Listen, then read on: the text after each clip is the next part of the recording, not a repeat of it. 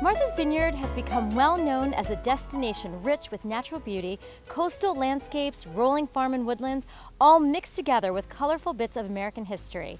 What's hard to find here, however, is a place and an experience that embodies all of that. Hi, I'm Guinevere Cramer from Point B Realty. The Polly Hill Arboretum in West Tisbury is such a place. Well, actually, it's a unique place and experience all rolled into one and belongs on everyone's vineyard bucket list. The spectacular 70 acre setting is centered around one of the oldest farmsteads on the vineyard, which eventually became the island home of the late Polly Hill and her husband. A remarkable, inspiring woman by all accounts, Polly became quite a well known plant and seed person, literally experimenting with and planting the seeds that are today the foundation of the Polly Hill Arboretum. Not only is it a living museum for trees of all kinds, there are public gardens, workshops, kids activities, plants for sale, scientific research, and even education. There are many destinations within the Arboretum. One of my favorite trees to find the monkey puzzle tree. A rare species in America, they're native to Chile and Argentina. These trees have been around forever and are actually called living fossils. Sadly, the monkey puzzle tree is now on the endangered species list. However, here at the Polly Hill Arboretum on Martha's Vineyard, we have seven for you to enjoy. Another great way to discover some of the many delights here is with one of the guides. Today, I'm lucky enough to be joined by Executive Director Tim Boland, was able to share a wealth of knowledge about Polly Hill Arboretum. Out of the blue, somebody dropped off one of these tree faces and we decided, wow, they're a great idea for adults and kids. Right.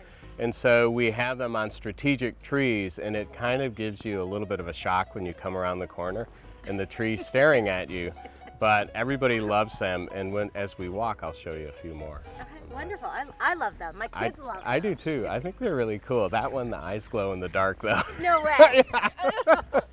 I collected this in a mountaintop in Honshu, Japan, 2005. It's a dogwood, believe it or not. Really? It has a different kind of flower, but what it does when it, the wind blows, the branches kind of waft down like this, like they're flying, this will probably get 60 feet tall someday.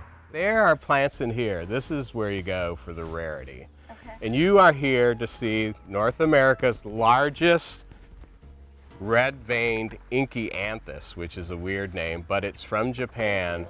This particular specimen is 40 feet wide and about 28 feet tall, and it has won the national champion record uh, really? of the tallest Enkianthus.